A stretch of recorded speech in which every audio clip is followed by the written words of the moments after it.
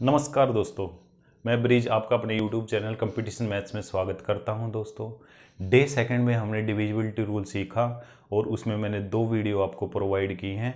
दोनों वीडियो आप देख लीजिए और उसमें मैंने पीडीएफ का जो लिंक दिया था, वो पीडीएफ आज मैं सोल्व करा रहा हूँ। काफ़ी क्वेश्चन आपसे हो गए होंगे, मैं आशा करता हूँ कि आपने काफ़ी क्वेश्चन उसमें से कर लिए होंगे, क्योंकि डिविजिबिलिटी रूल मैंने आपको कंप्लीट करा लिया था। उस, उसकी बेस्ड पे ही मैंने आपको जो वे पीडीएफ थी, वो दी थी। उसमें कुछ क्वेश्चन अलग थे, जो मैं क्वेश्चन सभी क्वेश्चंस जो 50 क्वेश्चन हैं, वो मैं करा रहा हूँ। काफ़ी लंबा वीडियो होने वाला है तो कॉपी पेन ले लीजिए और क्वेश्चंस को देखिए। कुछ क्वेश्चंस आपने किए होंगे बेसिक से किए होंगे ट्रिक्स मैं बताता रहूँगा साथ के साथ। जो क्वेश्चन जिस तरीके से होगा, वो मैं बताऊँगा आपको। ठीक है दोस्तों सेशन को शेयर कर दीजिए। ज़्यादा से ज़्यादा दोस्तों को शेयर कीजिए।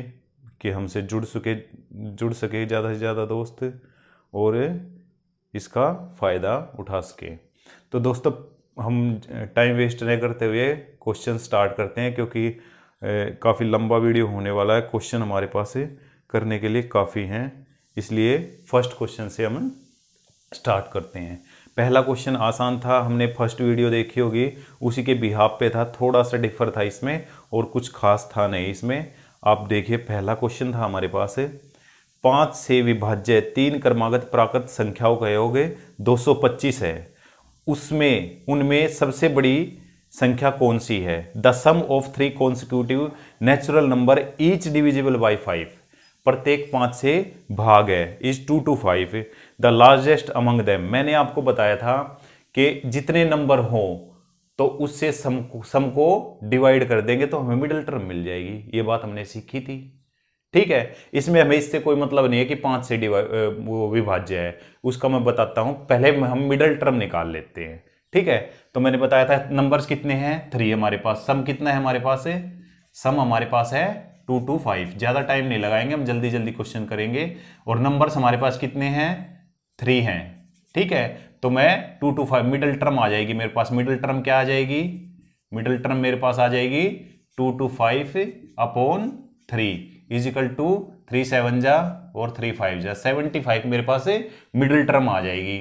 सेवेंटी फाइव मेरे पास मिडिल टर्म आ जाएगी। उसने कहा है कि जो नंबर्स है ना, जो नंबर्स हैं, वो फाइव से डिविजिबल हैं।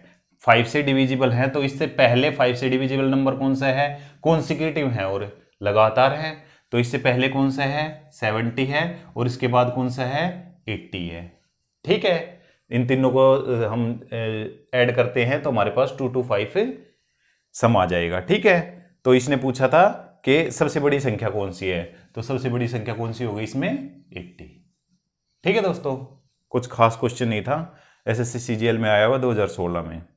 ठीक है? नेक्स्ट क्वेश्चन देखिए। नेक्स्ट क्वेश्चन इलेवन के रूल पे है। कोई ज़्यादा टफ था था नहीं वैसे। क्वेश्चन देखिए, क्वेश्चन क्या था? Two three six nine five three, ये दिया हुआ है एट सेवन सिक्स। यहाँ पे बताना है कि क्या आएगा कि ये इलेवन से कंप्लीटली डिवाइड हो जाए। ठीक है, मैंने बताया था सम और विषम स्थानों पर आए अंकों का योग। जो सम और विषम स्थानों पर आए अंकों का योग, या तो बराबर हो, या जो उनका डिफरेंस आए जिया उनका डिफरेंस आए, वो 11 से विभाज्य हो तो वो संख्या 11 से भाग हो जाएगी। ठीक है तो हम सम और विषम स्थान ले लेंगे। इसमें ये लिया हमने, ठीक है, ये लिया ये लिया ये लिया। ठीक है, इनको प्लस करते हैं हम। इधर से हम इसको ले लेंगे, ये ये ये और ये। इसकी वैल्यू हमें फाइंड आउट करनी है, ये हमारे पास एक्स है। ठीक है इनको प्लस करते हैं आठ और छः चौदह चौदह और तीन, सत्रह सत्रह और नौ, कितना हुआ? छब्बीस और तीन, उनतीस ट्वेंटी नाइन हुआ, ठीक है? और इनका कितना हुआ? Two, six, eight eight, five, thirteen thirteen और एक्स, और थर्टीन और सेवन, ट्वेंटी, इसमें से ट्वेंटी लेस कर देंगे तो हमारे पास एक्स की वैल्यू आ जाएगी क्या? नाइन। तो एक्स की वैल्यू क्या आ गई? नाइन। ठीक है? क्योंकि सम इक्वल हो जाएगा फिर। फिर क्या होगा?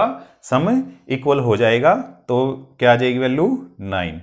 ठीक है? नेक्स्ट क्वेश्चन है दोस्तों। ज़्यादा से ज़्यादा क्वेश्चन करने में जल्दी जल्दी। ठीक है?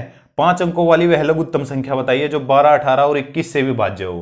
कहा है कि पाँच अंकों की वह लघुत्तम छोटी से छोटी संख्या। लघुत्तम का मतलब है छोटी से छोटी संख्या बताइए जो 12, 18 और 21 से भी भाज्य हो। The smallest five digit number which is divisible by 12, 18 and 21 12, 18 and 21 इससे पूरी भाग। इसका मतलब क्या है? जो 12 से 18 से 21 से तीनों से भाग हो जाएगी, वो संख्या क्या है?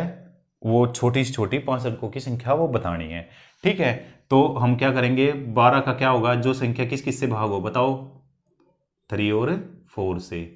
मैंने क्या बताया था? जिनका एच सी एफ़ वन आता है, ऐसे फैक्टर लेंगे। ठीक है, एटीन किससे होगी? एटीन वाली, जो नौ और दो से हो जाएगी, दो और नौ से हो जाएगी। ठीक है और इक्कीस किस से हो जाएगी? तीन और सात से हो जाएगी। ठीक है? तो हम इसको ऑप्शन से करेंगे, इस क्वेश्चन को। इस क्वेश्चन को हम ऑप्शन से करेंगे। बिल्कुल आसान है कुछ ज़्यादा टफ क्वेश्चन नहीं है। देखो, हमें ऑप्शंस दिए हुए इसके।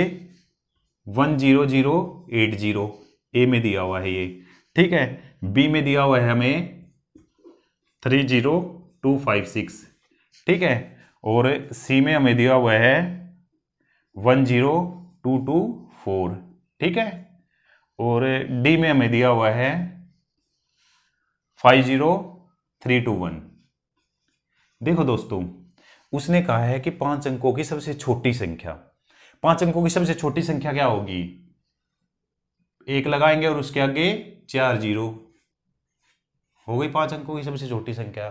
ठीक है? अब ये देखिए, इसके आसपास कौन सी संख्याएँ हैं? ये दो संख्याएँ हैं इसके आसपास। इनको ही चेक करेंगे, ये तो कैंसिल ही हो जाएँगी। इतनी बड़ी संख्या नहीं होगी पाँच ठीक है?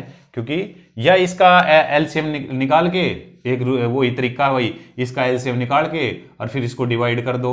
ठीक है? जो शेष बचेगा, जो मतलब इससे ज़्यादा पे लेके जाएँगे और जो शेष बचेगा, उसको हम इसमें से उसमें जो एलसीएम है, उसमें से घटा देंगे और फिर उसको जोड़ देंगे। उस तरीके से करेंगे, लेकिन वैसे नहीं करेंगे हम। वो लंबा तरीका है। ठीक है? हमें हमने रूल पढ़े हैं, इसलिए तो पढ़े हैं हमने। रूल किस लिए पढ़े हैं हमने? इसलिए पढ़े हैं। ठीक है फैक्टर वाला रूल है ये फैक्टर वाला रूल लगेगा। ठीक है? अब देखिए तो हम क्या देखेंगे? तीन और चार का हमें रूल पता है। हमने फ़र्स्ट कोई हम चेक कर लेते हैं। तीन और चार का हमें पता है कि अंकों का योग नौ है भाई, तीन से हो जाएगी। ठीक है, चार का लास्ट के टू डिजिट देखे हमने, चार से भी हो रही है। ठीक है, फिर नौ से नौ से भी हो रही है, आठ एक नौ, दो से भी हो रही है। ठीक है फिर तीन से देखेंगे हमें, तीन से तो हो ही रही है। सेवन से और देखेंगे। क्या? सेवन से और देखेंगे।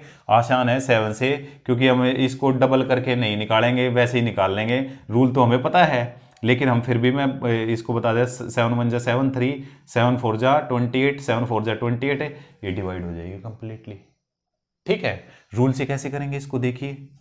सेवन वाला रूल मैंने आपको बताया था कि जो लास्ट डिजिट है उसको डबल करके इसमें से लेस कर देंगे। डबल इसका क्या होगा? कुछ भी नहीं होगा। वन ज़ीरो एट ठीक है? ज़ीरो का डबल होगा ज़ीरो ही हो जाएगा। ठीक है? फिर इसका डबल कर देंगे हम दोबारा। अब हमारे पास ये, इसको कंटिन्यू कर सकते हैं हम। सेवन वाले रूल में हम कंटिन्यू इसको करते रहेंगे। ठीक है? जब तक टू डिजिट ना है जब तक आसान ना है मेरे को डिवाइड ना करना पड़े, ठीक है? अब देखो, ये मेरे पास बच गया क्योंकि ज़ीरो तो हटा दी मैंने, ज़ीरो किया तो ज़ीरो यही आ गया। अब मैं दोबारा इसको करता हूँ, अब ये हंड्रेड आ गया, अब मैं एट का डबल कर देता हूँ। एट का डबल किया मैंने एट्टी फोर आ गया। अब एट्टी फोर को भी मैं डिवाइड नहीं करता। ये एट्टी फोर को डिवाइड कर लो सेवन वन जा सेवन सेवन टू जा फोर्टीन तो ये कंप्लीटली डिवाइड हो जाएगी तो यही संख्या होगी जो सबसे डिवाइड होती है। ठीक है भाई? यह आप इसका वही, वो निकाल लेते, इसका एलसीएम निकाल के उससे इसको डिवाइड करते, ठीक है? वो फिर अलग तरीका होता, वो थोड़ा लेंथी हो जाता। ठीक है, ये हमने सीखा इसलिए तो है ये। डिवीज़न रूल इसीलिए तो हमने सीखा है। ठीक है? नेक्स्ट क्वेश्चन पे आ जाते हैं। उधार लिया आपने? ठीक है दोस्तों। दोस्तों, आपके लिए एक नया डस्टर मैंने बना दिया है। जो हम जब सरकारी स्कूल में पढ़ते थे ना तो टीचर कहता था हमें कि, यार, डस्टर बना के लाओ, डस्टर बना के लाओ। तो वैसा डस्टर मैंने आपके लिए बनाया है, क्योंकि, यार, वो वे जो डस्टर थे ना, वो काम नहीं कर रहे थे। तो ये मैंने आपके लिए एक, क्योंकि ये साफ़ ये बिल्कुल अच्छे से साफ़ कर देता है। देसी है भाई, देसी जुगाड़ बनाया है मैंने आपके लिए, ठीक है? कल मैंने खुद ही बनाया यार। मैं स्कूल में बनाता था ये, ठीक है? जब क्लास में क्या होता था कि जब टीचर सरकारी स्कूलों में क्या होता था कि टीचर कहते थे, यार, डस्टर लेके आएगा मोनीटर। ठीक है तो मैं भाई घर पे ही बनाता था। तो मैंने ये वैसे ही सील के कल मेरा मूड में आया, यार, चलो, डस्टर बनाते हैं। तो मैंने आपके लिए डस्टर बनाया कल, यार, ठीक है, मेहनत कर रहा हूँ यार आपके लिए, आप भी करो थोड़ा। ठीक है, आप भी करो मेहनत। ठीक है ऐसे ऐसे काम कर रहा हूँ। देखो, काफ़ी टाइम में बनाया मैंने बीच में। बीच में काफ़ी गैप दे दिया और अब ये मेरे को कल याद आया, यार, ऐसा डस्टर बनाता हूँ, ठीक है? तो ये फिर मैंने आपके लिए बनाया। नेक्स्ट क्वेश्चन पे आ जाते हैं, ठीक है? टाइम वेस्ट नहीं करते। एक संख्या x, एक संख्या x है जो सात से भी भाज्य है। बिल्कुल आसान क्वेश्चन है, इसमें तो कुछ भी नहीं था यार छोटी छोटी संख्या दी हुई थी, हम देख लेते ऑप्शन में, ठीक है? एक संख्या x जो सात से भी बाज्य है, ठीक है?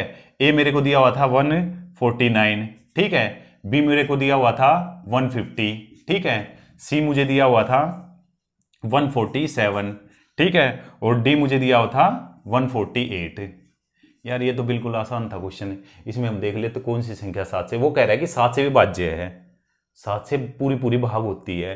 तो ऐसी संख्या देख ले देखो, ये भी नहीं हो रही, ये भी नहीं हो रही, ये भी नहीं हो रही। आसान है, इसमें तो नॉर्मल सी बात है। हम दिमाग में सो यही हो रही है। तो ऑप्शन यही होगा आंसर ये होगा। ठीक है, ज़्यादा कुछ सोचने की आवश्यकता नहीं है। हमें देखना है कि कितना जल्दी क्वेश्चन को कर पाए हम। किस तरीके से करें? ऑप्शन से करें, कैसे करें? ज़्यादातर क्वेश्चन ऑप्शन से ही हो जाएँगे हमारे। ठीक है? ज़्यादातर क्वेश्चन ऑप्शन से ही हो जाएँगे हमारे, ठीक है? नेक्स्ट क्वेश्चन देखिए। नेक्स्ट क्वेश्चन देखिए। बोर्ड भी चेंज किया आपके लिए यार। बोर्ड भी चेंज किया है। काफ़ी बच्चों ने कहा कि बोर्ड छोटा है। तो मैंने बोर्ड भी चेंज कर दिया आपके लिए, ठीक है? नेक्स्ट क्वेश्चन देखिए। पचास डिब्बे तथा पचास व्यक्ति। पचास डिब्बे हैं और पचास ही व्यक्ति हैं। पहला व्यक्ति हर डब्बे में एक पत्थर रखता है। पहला व्यक्ति हर डब्बे में एक पत्थर रख देता है। भाई, हर एक डब्बे में पहले व्यक्ति एक से तो सारे डिवाइड होंगे तो सभी में एक एक रख दिया उसने।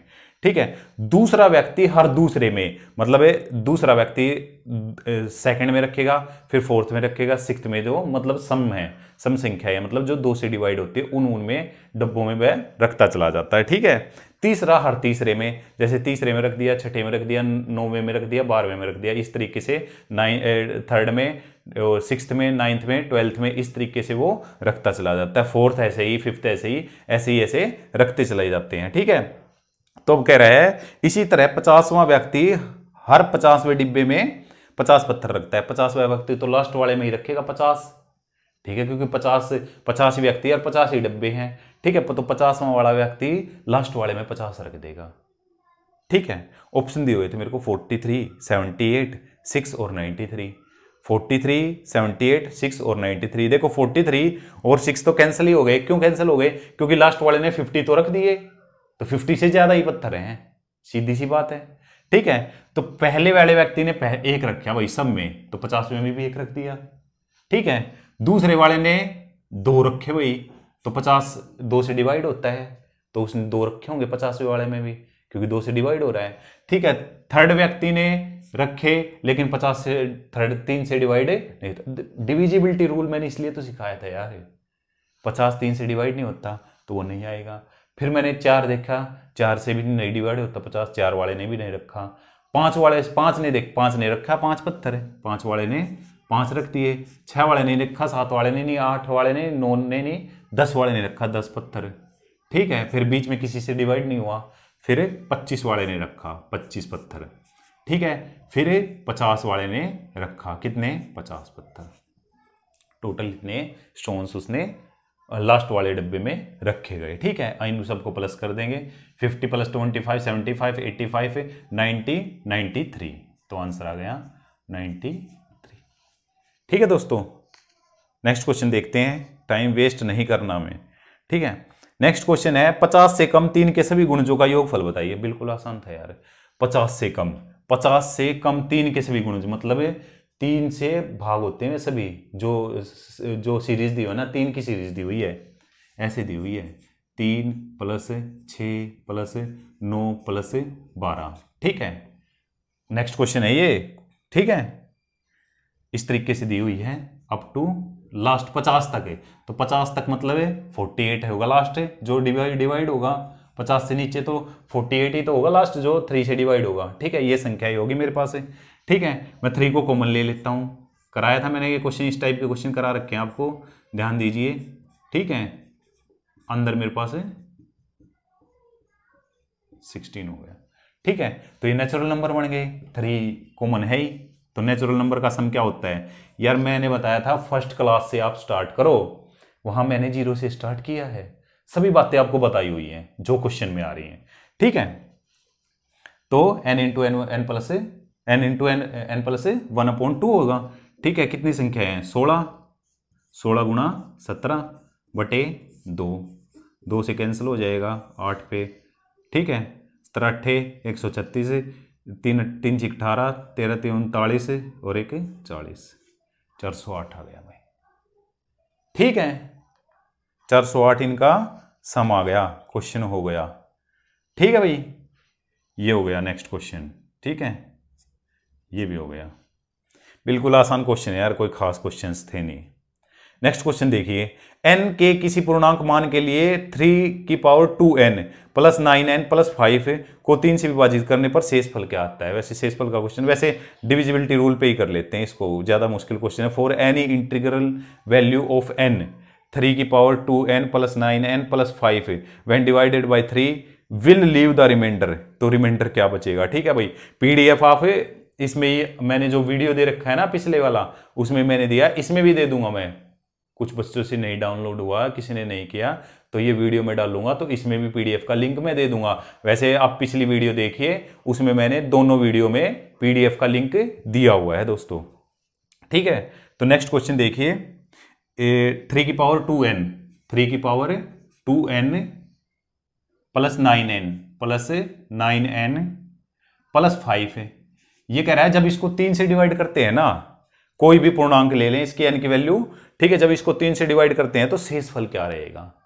शेष फल क्या आएगा? ठीक है, देखो दोस्तों, ये थ्री से डिवाइड होता है और ये भी थ्री से डिवाइड होता है। एन की वैल्यू आप कुछ भी रख लो एन की वैल्यू आप कोई भी रखेंगे ना, तब भी ये थ्री से डिवाइड होगा। ठीक है एन की वैल्यू आप कोई भी रख लो, तब भी ये थ्री से डिवाइड होगा। बस बाकी हमारे पास यही बचेगा, क्योंकि इसके साथ एन नहीं है। ठीक है? इसकी इसकी वैल्यू आप कुछ भी रख लो तो आप ये थ्री से डिवाइड होगा। कैसे देखो? एन की वैल्यू मैं वन रख लेता हूँ। वन रखी मैंने थ्री की पावर है टू इंटू वन हो जाएगी। प्लस नाइन इंटू वन हो जाएगा। ठीक है? प्लस फाइव ठीक है? ये क्या आ जाएगा? थ्री की पावर टू है तो कितना हो जाएगा? नाइन ही हो जाएगा। ठीक है? ये नाइन ही हो जाएगा प्लस फाइव है। ये थ्री से कैंसिल हो जाएगा, ये थ्री से कैंसिल हो जाएगा, ये रह जाएगा। इसको जो मैं थ्री से डिवाइड करूँगा तो क्या आ जाएगा? रिमाइंडर क्या आ जाएगा मेरे पास टू आ जाएगा भाई। रिमाइंडर कितना आ जाएगा? टू रिमाइंडर ही पूछा था। बिल्कुल आसान क्वेश्चन था। एन से नहीं घबराना यार। मैंने क्या बताया? ए टू जेड आपको ए ए बी सी डी कुछ भी आ जाए, उससे घबराना नहीं है। वैल्यू पुट करनी है आपको, ठीक है? जहाँ पे घबराने के बात होगी ना, वहाँ मैं बता दूँगा, भाई, यहाँ घबराने के बात है, यहाँ पे इस तरीके से करो। ठीक है? नेक्स्ट क्वेश्चन देखिए। सौ से छह सौ के बीच हंड्रेड से सिक्स हंड्रेड के बीच ऐसे पूर्णांकों की संख्या कितनी है, जो चार और छह, दोनों से विभाजित होते हैं। चार और छ चार और छ मैंने क्या बताया? फोर और सिक्स। से फोर और सिक्स से कौन सी संख्या भाग होगी? जो इसका एलसीएम ले लेंगे, या इसका एलसीएम लेंगे, हम एलसीएम क्या आ जाएगा? मतलब इसके जैसे चार से तो हमें पता है, छह का भी हमें पता है। चार का भी पता है, हमें छह का भी पता है। कोई ऐसी सोचने वाली बात है नहीं। चार का भी पता है और छः का भी पता है। तीन और दो से हो, और ये चार से, चार का तो हमें पता ही है। ठीक है तो क्या बताना है? सौ और छः सौ के। तो इसका मतलब क्या है कि जो बारह से हो जाए, जो चार और छः का मतलब है, जो बारह से इसका एलसीएम ले लेंगे। एलसीएम निकाला हमने तो एलसीएम क्या आ जाएगा? दो दो गुणा तीन, बारह आ जाएगा भाई। कितना आ जाएगा? बारह। एलसीएम कैसे निकालते हैं? पता है एलसीएम निकालने का तरीका? नहीं पता। बता देता हूँ यार। साथ के साथ बता देता हूँ, आगे फिर एलसीएम में सीखेंगे तो हमें आसानी रहेगी, कोई बात नहीं, बता देता हूँ कि घबराने वाली कोई बात नहीं यार, यहाँ कोई हमारे, ठीक है, बता देता हूँ आपको एलसीएम का तरीका। ठीक है, जैसे मेरे पास चार और छः हैं भाई, चार है और छः है, ठीक है, चार के जब मैं गुणनखंड करता हूँ प्राइम फैक्टर्स प्राइम सीखेंगे अभी टू इंटू टू आते हैं, ठीक है? और सिक्स के मेरे पास क्या आते हैं? टू इंटू थ्री आते हैं, ठीक है? टू इंटू थ्री आते हैं। तो मेरे पास क्या होगा कि इन दोनों की जो मल्टीप्लीकेशन है ना, और इनकी मल्टीप्लीकेशन एक लानी है, ठीक है? तो मेरे पास यहाँ से मैं टू लूँगा, टू इंटू टू ले लिया। अब ये टू तो पहले ही आ गया ना, टू तो पहले ही आ गया इसमें। जो पहले आ चुके उनको नहीं लेंगे हम। ठीक है, जो पहले आ गए, उनको नहीं लेंगे। जैसे टू आ गया पहले, ऊपर वाली संख्या में टू शामिल था। ठीक है तो हम केवल थ्री को लेंगे। तो हमारे पास ट्वेल्व हमारे पास एलसीएम आ जाएगा। ठीक है, इस तरीके से करते हैं हम। ठीक है, अभी बाद में एलसीएम करेंगे। जब मैं बिल्कुल डिटेल से बताऊँगा इसको, बिल्कुल आसान तरीके से। ठीक है, अब कह रहा है सौ से छह सौ के बीच। सौ से लेके और छह सौ के बीच। छह सौ के बीच में बतानी है भाई छह सौ शामिल नहीं है उसमें, लेकिन सौ उसमें शामिल नहीं है, इसके बीच में बतानी है, इसके बीच में सौ से सौ के बीच में बतानी है, हमें सौ ये सौ शामिल नहीं है उसमें। तो हम बारह से डिवाइड करते हैं, सौ को बारह से डिवाइड करते हैं, कितनी संख्या आ जाएगी? बारह बारह सते चौरासी, बारह, अट्ठे, छियानवे। तो आठ संख्याएँ हो जाएँगी सौ तक की। सौ तक की कितनी होगी? सौ तक कितनी हो जाएँगी भाई? आठ संख्याएँ हो जाएँगी। ठीक है, सौ तक कितनी हो जाएँगी? आठ और इसमें छह सौ शामिल नहीं है तो इसलिए पाँच सौ निन्यानवे ही लेंगे। ठीक है, छह सौ तक तो पचास हो जाएँगी, लेकिन छह सौ शामिल नहीं है भाई। छह सौ से, छह सौ को बारह से डिवाइड करते हैं तो पचास संख्या ही होगी, लेकिन छह सौ भी शामिल हो गया ना उसमें तो छह सौ को निकाल देंगे हम। ठीक है तो कितनी होगी? Forty nine. कितनी संख्या होगी? एक से एक से छह सौ तक की। ये थी एक से सौ तक की। एक से सौ तक की। और एक से छह सौ तक की कितनी होगी भाई? पचास भाई। एक से छह सौ तक की कितनी होगी? पचास लेकिन मेरे को छह सौ नहीं निकालना छह सौ तक नहीं निकालनी। मेरे को निकालनी है पाँच सौ निन्यानवे तक की क्योंकि छह सौ शामिल नहीं है भाई। तो कितनी हो जाएँगी? फोर्टी नाइन क्योंकि छह सौ निकल गया। अब फोर्टी नाइन में से ये लेस कर देंगे। फोर्टी नाइन माइनस से एट तो मेरे पास फोर्टी वन आ जाएँगे। इकतालीस संख्या ऐसी हैं जो चार और छः से भाग होती हैं। दोनों से भाग हो जाएँगे क्योंकि जो बारह से हो जाएगी वो चार और छः दोनों से हो जाएगी। ठीक है भाई? नेक्स्ट क्वेश्चन देखो भाई। नेक्स्ट क्वेश्चन हमारे पास है। जब थ्री थ्री फाइव है when three three five is added to five A seven five A seven कह रहा है कि तीन सौ पैंतीस को, आसान क्वेश्चन था यार, ज़्यादा नहीं फाइव ए सेवन में जोड़ा जाता है फाइव ए सेवन में जोड़ा जाता है तो हमारे पास कह रहा है तो परिणाम एट बी टू आता है। जब इसको इसमें जोड़ा जाता है तो एट बी टू आता है, ये आता मेरे पास। ठीक है? तो कह रहे हैं कि जो एट बी टू है ना, वो तीन से भाग है, पूरी तरह भाग है। तो ए का महत्तम ए का महत्तम संभव होता है मान मतलब ज़्यादा से ज़्यादा ए की वैल्यू क्या हो सकती है? ज़्यादा से ज़्यादा वैल्यू निकालनी है भाई। देखो, सात और पाँच बारह भाई, ये तो ठीक है। तीन और ए की वैल्यू कह रहा है, ज़्यादा से ज़्यादा निकालिए। तो देखो बी की वैल्यू में क्या क्या रख सकता हूँ जब ये तीन से भाग हो? एक तो दो आ सकती है, लेकिन दो तो आएगी नहीं, क्योंकि यहाँ पे देखो, इसमें क्या है कि शेष आगे गया नहीं, ये तो एट ही हुआ है। यहाँ पे रिमाइंडर तो आगे गया नहीं है। तो इसका मतलब है, यहाँ पे रिमाइंडर नहीं बच रहा है कोई भी, ठीक है? तो टू तो आएगा नहीं, क्योंकि बारह बनना चाहिए फिर। बारह बनेगा यदि मैं यहाँ पे नाइन लगाता हूँ तो यहाँ पे बारह बन जाएगा टू आ जाएगा, फिर ये तो यहाँ पे आगे तो गया ही नहीं, फिर तो यहाँ पे नाइन होना चाहिए था, ठीक है? तो टू नहीं आएगा। फाइव देखूँगा मैं। फाइव लिया मैंने तो फाइव लेता हूँ तो यहाँ पे टू आ जाएगी, ठीक है? वैल्यू क्या आ जाएगी? टू लेकिन फाइव से फाइव लेता हूँ, तब भी ये भाग हो जाएगा। लेकिन मैं फाइव ने लेके यहाँ पे क्या लूँगा? एट लूँगा, क्योंकि मैक्सिमम पूछा है उसने। ए की वैल्यू मैक्सिमम पूछा है कि ए की वैल्यू मैं मैक्सिमम क्या लगाऊँ? ठीक है? मिनिमम कहता तो मेरे पास मैं यहाँ पे फाइव करके और यहाँ पे टू आ जाती वैल्यू मिनिमम होती तो। ठीक है? लेकिन उसने मैक्सिमम पूछी है तो मैक्सिमम के लिए मैं यहाँ पे एट कर दूँगा। तभी तो डिवाइड होगा। एट एट सिक्सटीन और टू थ्री के हमने रूल पढ़ा। रूल पे बेस्ड ही क्वेश्चन है, ठीक है? तो eight eight sixteen plus two eighteen हो जाएगा। ठीक है? अब यहाँ पे एटीन बनाने के लिए मेरे को क्या करना पड़ेगा? सात और पाँच बारह, एक यहाँ पे क्या था? रिमाइंडर गया था। ठीक है? और यहाँ पे क्या आ जाएगा? चार और चार आठ भाई। तभी तो बनेगा। तो ए की वैल्यू क्या आ गई भाई? फोर मैक्सिमम वैल्यू क्या आ जाएगी? फोर ठीक है? आसान था क्वेश्चन यार, ये इसमें ज़्यादा कंपटीशन एग्ज़ाम की तैयारी कर रहे हो यार, इतना तो आता ही आपको। तरीका, ये तो रूल था। नेक्स्ट क्वेश्चन देखो भाई। नेक्स्ट क्वेश्चन है, दसवां क्वेश्चन है। किसी तीन अंकों वाली संख्या के अंतिम दो अंकों से बनी संख्या छह का पूर्ण गुणांक है। तीन अंकों से बनी संख्या है और जो अंतिम दो अंकों से बनी संख्या है ना, वो छह का पूर्ण गुणांक है। मतलब यहाँ पे हमें नहीं पता क्या है, यहाँ पे कुछ भी हो सकता है। एक, दो, तीन, चार, पाँच छः सात, आठ, नौ, कुछ भी हो सकता है। लेकिन जो लास्ट के टू डिजिट है ना, वो छः का पूर्ण गुणांक है, ज़ीरो छः है, बारह है, ठीक है, इस तरीके से है। ज़ीरो छः है, बारह है, ठीक है, अठारह है, चौबीस है, तीस है, ठीक है, यहाँ कुछ भी हो सकता है और यहाँ पे कुछ भी हो सकता है। तो वो संख्या किससे भाग होगी? देखिए यूनिट प्लेस पे क्या आ रहा है? यूनिट प्लेस पे। देखो, चार से तो हो नहीं रही, चार से क्योंकि ये भी नहीं हो रही, चार से क्योंकि दोनों अंक होने चाहिए। ठीक है, ये हो रही है, ये नहीं हो रही, ये हो रही है, फिर ये नहीं। ठीक है, इस तरीके से चार से तो हो नहीं रही। ठीक है, तीन का रूल है कि सम ऑफ़ नंबर से सम ऑफ़ नंबर्स भी वो नहीं होगा, इस पर अप्लाई ठीक है तो इस पे अप्लाई होगा, इस पर क्या अप्लाई करेंगे हमें? इस पर टू वाला ही होगा, इस पर क्या होगा? टू वाला ही अप्लाई होगा।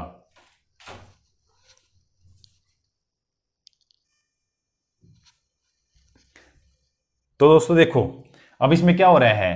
फोर से भी नहीं हो रहा थ्री का भी रूल नहीं हो रहा सिक्स से नहीं हो रहा सिक्स से क्योंकि सिक्स के लिए टू और थ्री से होना चाहिए। थ्री का तो मैंने फेल ही बता दिया। अब टू से ही हो रहा, देखो, सभी डिजिट्स क्या आ रहे हैं? Zero two four six eight ही आएँगे। Zero two four six eight तो इसका मतलब किससे हो रहा है? टू से हो रहा है। क्या आ जाएगा आंसर है?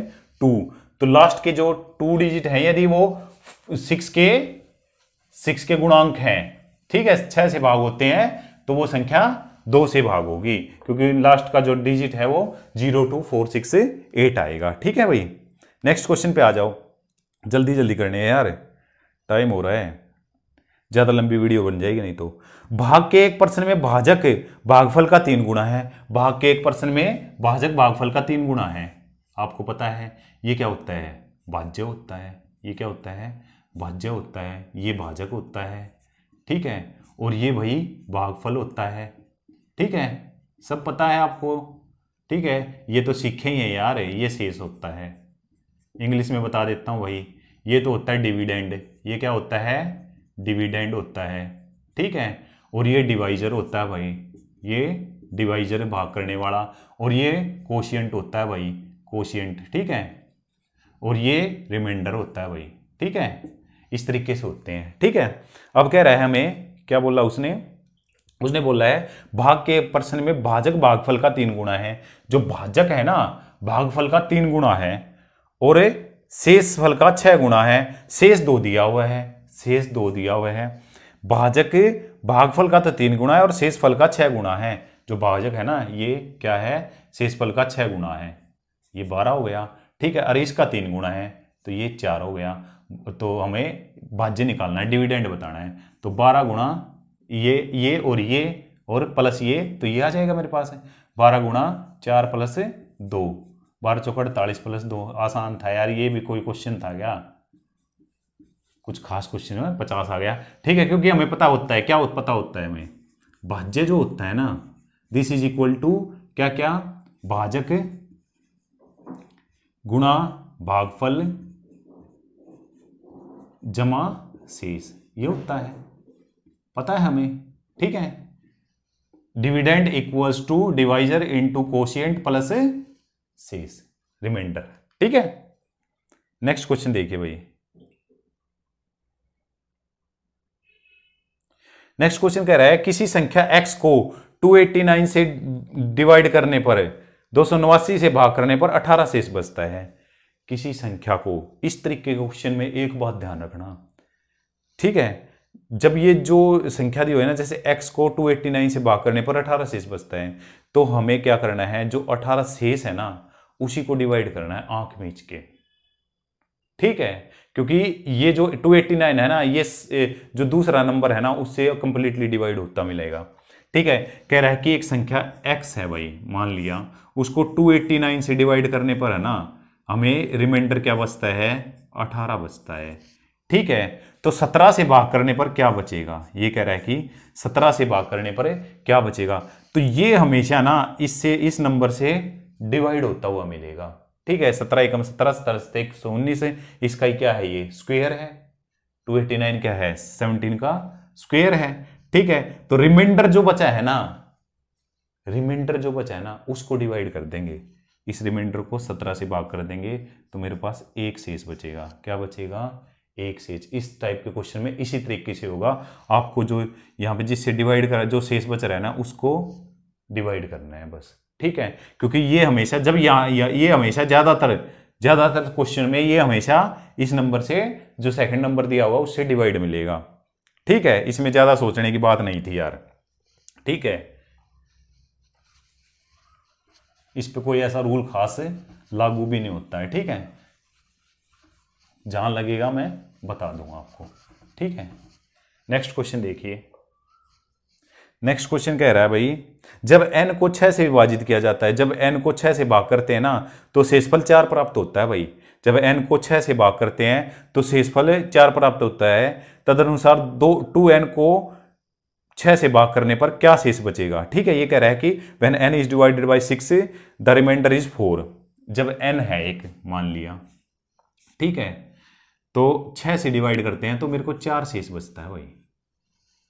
ठीक है, जो एन है, उसको छह से डिवाइड करते हैं तो मेरे को चार शेष बचता है।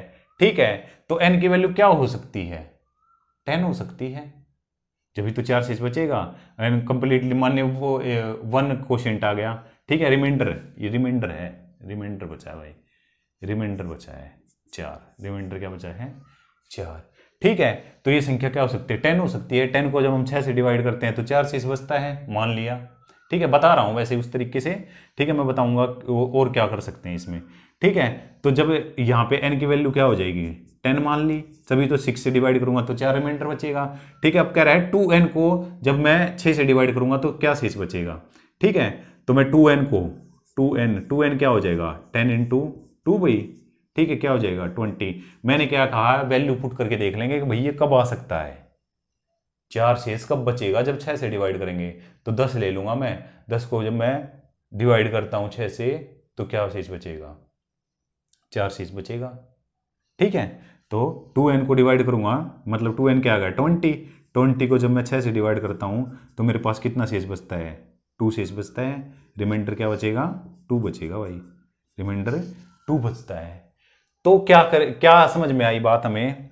यहाँ पे यहाँ पे जो हमारा शेष बचता है ना, जो एन के साथ हो रहा है ना वो ही उसके जो शेष है, उसको, उसके साथ करके उसको डिवाइड कर देंगे। एन के साथ क्या हुआ है देखो एन जो था ना, वो टू एन बन गया है। एन क्या बन गया है? टू एन बन गया भाई। एन क्या बन गया है? टू एन बन गया है। तो हमारे पास शेष पहले क्या था? चार था। ठीक है तो हम चार को भी टू एन बना है ना तो चार को भी डबल कर देंगे। एन का डबल हो गया टू एन ठीक है तो चार को भी दो से गुणा कर देंगे। चार को जो शॉर्ट मेथड है, चार को भी दो से गुणा कर देंगे एट आ जाएगा। एट को जब मैं छह से डिवाइड करता हूँ तो मेरे पास दो शेष बचेगा। इतना पंगा करने की आवश्यकता नहीं थी। ठीक है, जो एन के साथ हुआ है, मान लिया ये एन एन का स्क्वेयर कर देता, मान लिया ये एन का स्क्वेयर कर देता, ये कह रहा है कि एन को जब मैं छह से डिवाइड करता हूँ ना तो चार शेष बचता है। एन को जब मैं छह से डिवाइड करता हूँ तो चार शेष बचता है तो कह रहा है कि एन के स्क्वेयर को जब मैं छह से डिवाइड करूँगा तो शेष पद क्या बचेगा? तो आप चार का स्क्वेयर कर दो, चार का स्क्वेयर कर दो, ठीक है? एन का स्क्वेयर कह रहा है ना तो आप चार का जो विशेष है ना, वो आप जो एन के साथ हो रहा है ना, वो शेष के साथ कर दो, ठीक है? जो एन के साथ हो रहा है, वो आप शेषफल के साथ, जो शेष बच रहा है ना, उसके साथ कर दो और फिर उसको डिवाइड कर दो, ठीक है? चार चौके सोलह हो जाता भाई, सोलह तो सोलह को हम चार, छह से डिवाइड करते तो मेरे पास चार ही शेष बचता, क्या बचता? चार ही शेष बचता। ठीक है, चार चुके सोलह, चार ही शेष बचता। तो इसी तरीके से देखो दस का स्क्वेयर करते हैं हम हंड्रेड आ जाता। कितना आ जाता? हंड्रेड तो हंड्रेड को जब मैं छह से डिवाइड करता, छह एकम छह। ठीक है, चार, छह चिके छत्तीस। चार ही तो शेष बचता फिर भी। ठीक है तो जो n के साथ हो रहा है, जो n के साथ हो रहा है, जो भी दिया हुआ है, वो जिस, उस संख्या के साथ हो रहा है ना, वो आप शेष के साथ कर दो और उसको डिवाइड कर दो, वही आ जाएगा। जैसे थ्री एन कर देता अब ये इसको थ्री एन कर देता तो चार तीन बारह तो ज़ीरो ही शेष बचता हमारे पास। थ्री एन कर देता ना इसको, क्योंकि थ्री एन में फिर वो कंप्लीटली डिवाइड हो जाता फिर उससे। ठीक है भाई? नेक्स्ट क्वेश्चन पे आ जाओ। नेक्स्ट क्वेश्चन मुझे दिया हुआ है, दो अंकों की एक संख्या और संख्या के अंकों के स्थान को आपस में बदल कर बनी संख्या का योग, एक पूर्ण वर्ग संख्या है तो इस तरह की संख्या कितनी हो सकती है? ठीक है? काफ़ी अच्छा क्वेश्चन है। लेवल काफ़ी अच्छे लेवल काफ़ी अच्छे लेवल का क्वेश्चन दो अंकों की दो अंकों की एक संख्या और अंकों के स्थान। आपस में बदल कर आपस में बनी बदल कर बनी संख्या का योग। दो अंकों की दो अंकों की एक संख्या। होती है। देखो कोई भी संख्या है मान ये लिया भाई संख्या पर ट्वेंटी फाइव है। ठीक है? तो ट्वेंटी फाइव टू की वैल्यू क्या है? Two into ten plus five यही तो बनी है। फाइव इंटू वन क्योंकि इकाई का अंक ये दहाई का अंक दहाई का अंक दस से गुणा होता है और इकाई का अंक एक से गुणा होता है। यही होती है संख्या। तो हमारे पास है जो संख्या है ना मान लिया इकाई अंक है एक्स इका, ना, ये अंक है एक्स और इकाई अंक है वाई तो मेरे पास संख्या बन जाएगी टेन एक्स प्लस वाई। ठीक है? संख्या मेरे पास क्या बन जाएगी? Ten X plus Y. और जब अंकों को पलटने पर बनी संख्या, अंकों को जब हम पलटने पर, पलट देंगे तो मेरे पास बन जाएगी टेन वाई प्लस एक्स। दोनों को जोड़ने पर एक वर्ग प्राप्त होती है, मुझे पूर्ण वर्ग है ये। ये क्या है? पूर्ण वर्ग है। तो मैंने इनको प्लस किया। Ten X plus X eleven X हो जाएगा। ठीक है? और ये इलेवन वाई हो जाएगा भाई। ठीक है? इलेवन एक्स और इलेवन वाई तो इलेवन कॉमन आ जाएगा तो एक्स प्लस वाई ठीक है? तो एक्स प्लस वाई जो है ना, ग्यारह ही आना चाहिए। जब तो वर्ग बनेगी पूरी। ये तो ग्यारह हो गया भाई। यहाँ तो ग्यारह हो गया। तो x प्लस वाई की वैल्यू भी ग्यारह ही आना चाहिए। जब तो पूर्ण वर्ग बनेगी। X प्लस वाई की वैल्यू भी क्या आनी चाहिए? ग्यारह होनी चाहिए। ठीक है? जब तो पूरी पूरी तरह वर्ग बनेगी तो x प्लस वाई भी क्या आना चाहिए? ग्यारह होना चाहिए। कब कब ग्यारह होगा भाई? ऐसी संख्या है, बताओ, जिसमें ग्यारह ग्यारह हो रहा है। बताओ।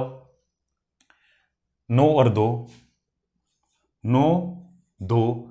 अब जब इसको पलटूँगा तो दो और नौ। इन दोनों को जब मैं प्लस करता हूँ तो मेरे पास क्या आता है? एक सौ इक्कीस आ जाता है। ठीक है? सात और दो नौ। ठीक है? ना नौ और दो, ग्यारह। ठीक है, फिर आठ और तीन। आठ और तीन और तीन और आठ। जब इसको प्लस करता हूँ, तब भी मेरे पास एक सौ इक्कीस आता है। ठीक है, फिर आ जाएगी सात और चार। सात और चार। चार और सात। जब इसको प्लस करता हूँ तो कितना आ जाता है? एक सौ इक्कीस आ जाता है। ठीक है छः और पाँच। छः और पाँच, ग्यारह। ठीक है तो पाँच और छः एक सौ इक्कीस, और भी है कोई संख्या? और नहीं बनती, क्योंकि चार सात तो आ गया आगे। ठीक है तो ये संख्या, कितनी संख्या हो गई? देख लो। संख्या हो गई आठ। कितनी संख्या होगी? एक, दो, तीन, चार, पाँच, छः, सात, आठ। क्योंकि अपोजिट करेंगे, जब भी बात वही है। अपोजिट करेंगे, तब भी तो बात वही है। तो इसने पूछा था बहुत ही अच्छा क्वेश्चन था।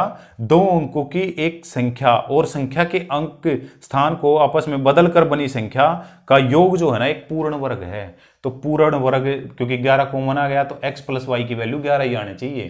तो हमने x प्लस वाई की वैल्यू 11 रखी। x नौ हो गया, दो। ठीक है, दो नौ, एक सौ इक्कीस आठ तीन तीन आठ, सात चार चार सात छः पाँच पाँच छः ठीक है भाई, बहुत अच्छा क्वेश्चन था।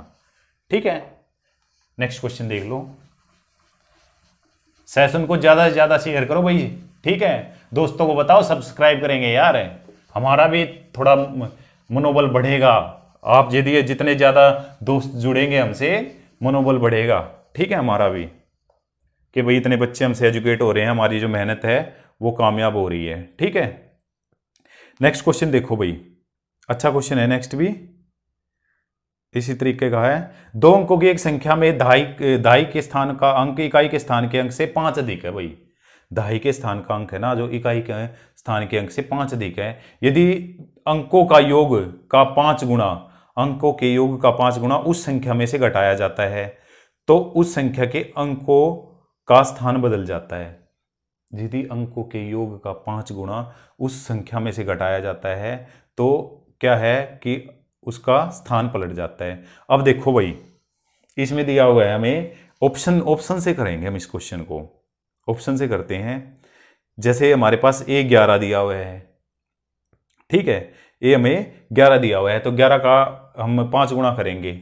यहाँ पे देखो ऑप्शन में अंकों का योग ही दिया हुआ है हमें। क्या दिया हुआ है? अंकों का योग ही दिया हुआ है भाई, अंकों का योग। ठीक है? एक बात मैंने बताई थी कि जो अंकों का डिफरेंस होगा ना, जब हम पलटेंगे जो अंकों का डिफरेंस होगा गुणा क्या? जो डिफरेंस गुणा नो डिफरेंस गुणा नो हमेशा उनका डिफरेंस आता है जब हम अंक को पलट देते हैं। ठीक है? तो वो डिफरेंस आ जाता है हमेशा। ठीक है? तो हमें दिया है ग्यारह गुणा पाँच। हम करके देख लेते हैं। ग्यारह गुणा पाँच। ऐसी संख्या देखो कोई पचपन आता हो। ऐसी संख्या है कोई जिनका अंक पलटने पर? क्योंकि ये नो से डिवाइड नहीं होती। मैंने क्या बताया कि जो ये आएगा ना वो डिफरेंस का क्या आएगा? डिफरेंस का नौ से गुणा कर देंगे, तब आएगा। ठीक है? दूसरा है मेरे सात गुणा पाँच। पैंतीस हो गया। ये भी नहीं आता। मैं ऑप्शन से करा रहा हूँ क्वेश्चन को बिल्कुल आसान हो जाएगा। अगला है नौ गुणा पाँच। ये हो रही है भाई, पैंतालीस। ठीक है? नौ गुणा पाँच। अगला देखो, तेरह गुणा पाँच। कैसे हो जाएगी? नौ से तो हो रही नहीं रही। नौ से कौन सी संख्या हो रही है? ये। मैंने आपको एक नो का रूल पढ़ाते हुए एक बात बताई थी कि जब अंकों का डिफरेंस जो होगा ना, जैसे मेरे पास है, इसमें संख्या मेरे पास पता है क्या आ जाती है? मेरे पास सेवन और टू आ गई। ये एक्सपीरियंस की बात हो जाती है यार। सेवन और टू आ जाती है। इसका डिफरेंस कितना आ गया? पाँच। जब मैं पाँच को नौ से गुणा करता हूँ ना, ठीक है, ये बराबर नहीं लेते इसको। जब मैं पाँच को नौ से गुणा करता हूँ ना पानी में पैंतालीस आ जाता है। जब इसमें से पैंतालीस में घटाता हूँ ना तो इसके अंक पलट जाते हैं ट्वेंटी सेवन बन जाती है ये। ठीक है? तो जो अंकों का डिफरेंस अंकों का डिफरेंस कितना था भाई? सात में से दो गए पाँच। ठीक है? और उसको जब मैं नौ से गुणा कर दूँगा ना तो वे अंको, अंक पलट जाएँगे उसके। तो इसमें सबसे बेस्ट तरीका यही था तो नौ गुणा पाँच। यही संख्या ऐसी थी, क्योंकि नौ था ना जो, वही संख्या ऐसी थी, क्योंकि नौ से डिवाइड होगी वो। ठीक है? तो नौ क्या आ जाएगा इसके? अंकों का योग संख्या क्या आ जाएगी? सेवेंटी टू ठीक है भाई, ये बात मैंने आपको जब क्वेश्चन मैं ना नो का रूल बता रहा था, आप पहली क्लास देखे, उस टाइम मैंने आपको बताई थी कि नो का रूल नहीं डिविजिबिलिटी रूल में ही मैंने बताई आपको, जब मैं नो का रूल पढ़ा रहा था कि ये बात काम आएगी मेरे को, जब मैं क्वेश्चन करूँगा। तो दोस्तों प्रैक्टिस कीजिए ज़्यादा से ज़्यादा। और वीडियो को देखना नहीं होता। मैंने क्या बताया था? नोट्स बनाइए प्रॉपर और जो बात बता रहा ना, उसको लिख लीजिए। ठीक है? काम आएँगी ये बातें यार। ठीक है, ऐसे ही नहीं, पढ़ा रहा मैं। नेक्स्ट क्वेश्चन देखिए। क्वेश्चन को सोल्व करके जल्दी जल्दी, इस क्वेश्चन में आप चाहे आधा घंटा लगा लो यार। ठीक है, लेकिन मेरे को क्या करना है? मेरे को देखना है कि कितनी जल्दी मैं क्वेश्चन को कर रहा हूँ। ठीक है नेक्स्ट क्वेश्चन देखिए। तीन लगातार धनात्मक संख्या के वर्गों का योग तीन सौ पैंसठ है। तीन लगातार, मैंने क्या बताया? मिडिल टर्म आ जाएगी। तीन लगातार धनात्मक संख्या के अंकों, वर्गों का योग तीन सौ पैंसठ है। देख यार, तीन सौ पैंसठ है। तीन लगातार है। लगातार कही है भाई। लगातार है तो मिडिल टर्म आ जाएगी। मैं इसको तीन से डिवाइड कर दूँ। तीन से मैं डिवाइड कर, तीन एकम तीन तीन दुणी छः और तीन एकम तीन। एक सौ इक्कीस आ गया। एक सौ इक्कीस आ गया। ये वर्ग है। ये क्या है? बीच वाली संख्या का वर्ग है। क्योंकि वर्गों का योग कहा है ना उसने?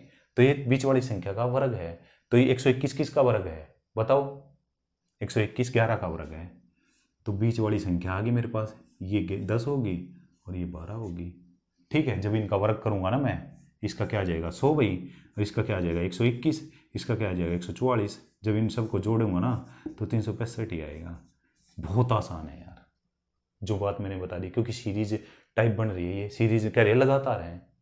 जब लगातार हूँ तो मैं उसको डिवाइड कर दूँगा तो मेरे पास आ जाएगा। कोई दिक्कत? दिक्कत नहीं आनी चाहिए। यार, बिल्कुल आसान था क्वेश्चन ठीक है, मैंने सम ऑफ़ जो सम दिया हुआ था ना, उसको डिवाइड कर दिया, जितनी संख्याएँ थी। तो मेरे पास बीच वाली संख्या आ गई। बीच, लेकिन वर्ग कहा था उसने? क्या कहा था? वर्ग है। तो बीच वाली संख्या का वर्ग आ गया। तो वर्ग मैंने इसका वो निकाल दिया, वर्गमूल वर्गमूल क्या आ गया? ग्यारह। स्क्वेयर आ गया स्क्वेयर रूट निकाल दिया। ठीक है, उतार लो क्वेश्चन को जल्दी जल्दी। स्क्रीनशॉट ले लिया करो यार। ठीक है, बहुत लंबी क्लास हो जाएगी। नेक्स्ट क्वेश्चन देखो। नेक्स्ट क्वेश्चन है भाई मेरे पास है। जब एन को पाँच से विभाजित किया जाता है तो दो शेष फल बचता है। जब एन स्क्वेयर को पाँच से विभाजित किया जाएगा तो शेष क्या होगा? मैंने बताया था जो एन के साथ हो रहा है ना, वो जो जो n के साथ हो रहा है, वो आप शेष के साथ कर दो। जब एन को पाँच से विभाजित किया जाता है, शेष दो आता है भाई। ठीक है? जब एन को मैं पाँच से भाग करता हूँ ना तो शेष दो आता है तो इसका मतलब एन की वैल्यू क्या है? सात है। एन की वैल्यू क्या है? सात है। ठीक है? सात का स्क्वेयर कर दो। उनचास हो गया उनचास हो जब मैं पाँच से भाग करता हूँ तो चार शेष आएगा। तो मैंने क्या कहा, जो एन के साथ हो रहा है ना, वो आप शेष के साथ कर दो। तो शेष कितना बच रहा है? दो। तो एन का क्या हो रहा है? स्क्वेयर। तो दो का स्क्वेयर कर दो। दो का स्क्वेयर कर दिया मैंने। दो का स्क्वेयर क्या आ गया? चार। चार को जब मैं पाँच से भाग करूँगा तो चार ही शेष बचेगा। तो आंसर शेष चार आ गया इसका। बात आ रही समझ में? पिछले क्वेश्चन कराया था मैंने। मैंने बताया था। क्या बताया था दोस्तों? कि जो एन के साथ हो रहा है ना जो एन के साथ हो रहा है, वो आप शेष के साथ कर दो। एन के साथ क्या हुआ है? एन का स्क्वेयर कर दिया इसने। एन को पहले इसने पाँच से भाग किया था तो दो शेष आ रहा था। तो एन को जब मैं पाँच से भाग कर रहा हूँ ना तो दो शेष आ रहा है। इसका मतलब एन की वैल्यू क्या होनी चाहिए? सात होनी चाहिए। जब मैं सात को पाँच से भाग करता हूँ तो दो शेष आता है मेरे पास? शेष कितना आता है? रिमाइंडर मेरे पास कितना आता है? रिमाइंडर मेरे पास दो आता है भाई। ठीक है? जब एन के स्क्वेयर एन का स्क्वेयर कितना हो जाएगा? फोर्टीन इसको जब मैं पाँच से भाग करूँगा तो शेष क्या आ जाएगा? चार आएगा भाई मेरे पास।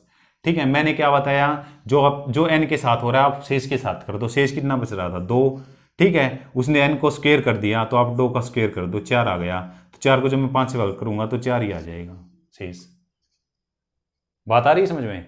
ठीक है भाई, उतार लो एक बार इसको। ठीक है